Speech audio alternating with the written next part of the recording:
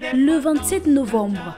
La date ne vous dit pas grand-chose, mais si nous ajoutons 1967, c'est peut-être maintenant que les historiens, les amoureux de l'histoire, les témoins de cette époque commencent à s'en souvenir.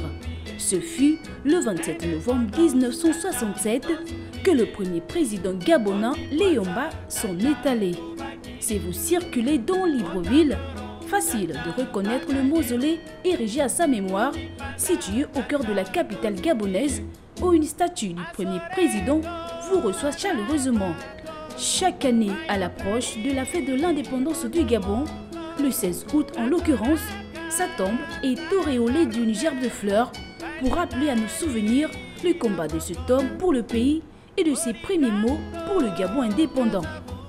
La face des hommes, par la délégation des pouvoirs que je tiens du peuple gabonais et en vertu du droit de ce peuple à disposer de lui-même, je proclame solennellement l'indépendance de la République gabonaise.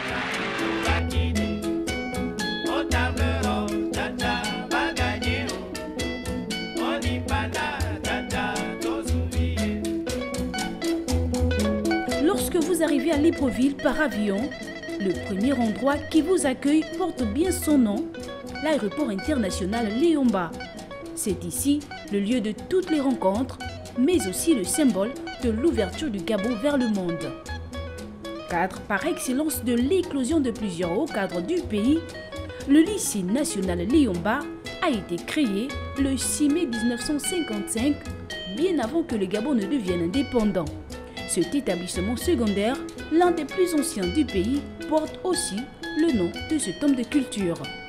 Situé à l'entrée du grand marché de Libreville, entendez le marché Montbois, la résidence privée et palais de l'ancien président est dressé juste en face de son buste, situé au carrefour dit Léomba.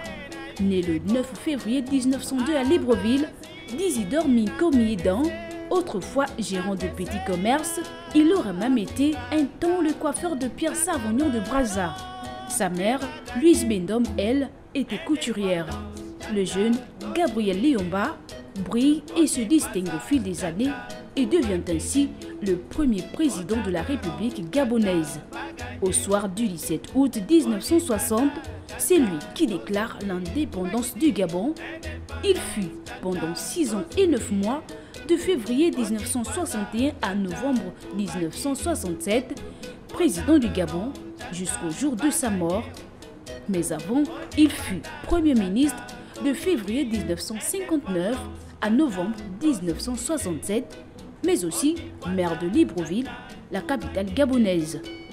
54 années nous séparent de ce jour sombre de l'histoire du Gabon, mais le souvenir de cet homme est bien ancré dans les esprits des Gabonais et Gabonaises, particulièrement ceux qui ont été les témoins de cette époque, marquant les premiers pas de la République gabonaise.